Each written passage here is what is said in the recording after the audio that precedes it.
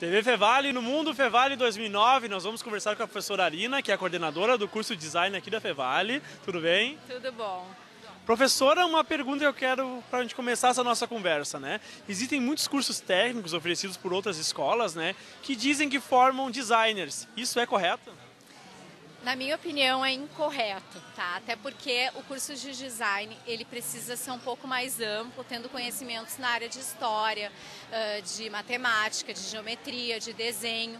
E quando tu, tu tem um curso onde tu, tu tem esse conhecimento limitado, onde tu trabalha apenas uma parte do que de fato é design, tu não tem como agir profissionalmente em todo o campo desejado.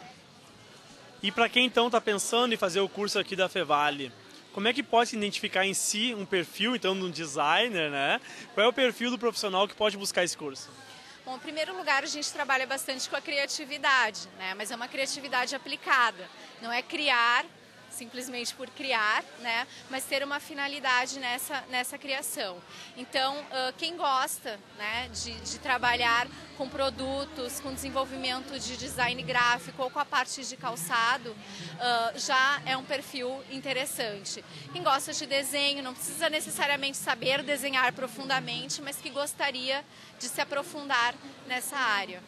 Então é um mercado bem amplo é bem amplo, né? O curso de design hoje ele tem, uh, tem essa formação ampla, ou seja, tu te forma é, em design de maneira ampla. É natural que cada um no decorrer desse, desse curso vá se identificando com uma área em especial, por exemplo, ah, desenvolvimento de um produto, eu quero trabalhar com mobiliário ou não, quero trabalhar com calçado ou mais com a parte de web, né?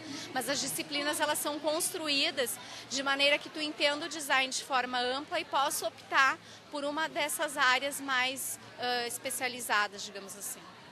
E qual é a estrutura então que o curso oferece? Nós temos laboratórios de computação gráfica, salas de desenho, uh, temos a, a, parte da oficina, né, onde se pode trabalhar a questão de modelagem de produtos.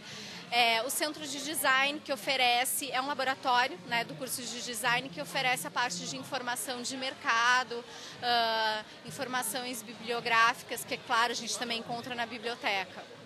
Professora, obrigada pelas informações. De nada, agradeço. Rodrigo Teixeira para o especial Mundo Fevale 2009.